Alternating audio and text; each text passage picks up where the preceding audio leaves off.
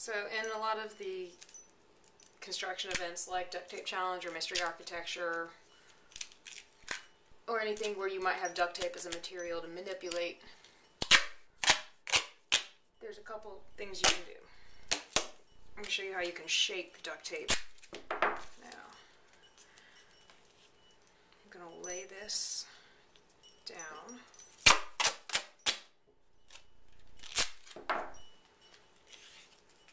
Go ahead and make this two pieces wide so it's a little more useful.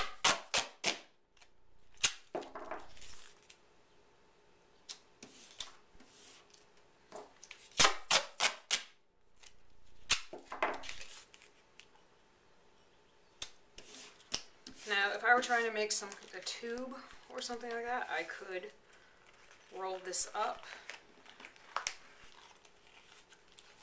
make a tube if I needed to make tower legs or some kind of height for a structure I was building. Um, you'll also notice just by doing that or running my fingers over it and rolling it a little, it does make a pretty effective channel if I were making some kind of a ramp or roller coaster or anything like that where I had to guide a ball rolling down something or even a water chute if I were transferring water from one location to another. This could also be manipulated by folding it back and forth, accordion style,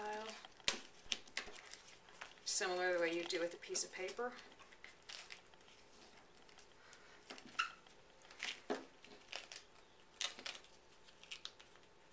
Give some, well, I'm stuck together now. there we go. If I needed a some kind of a base or stronger structure, I could use that and then make another sheet of duct tape to go on top. If I needed a platform, or even take that and turn it the other way.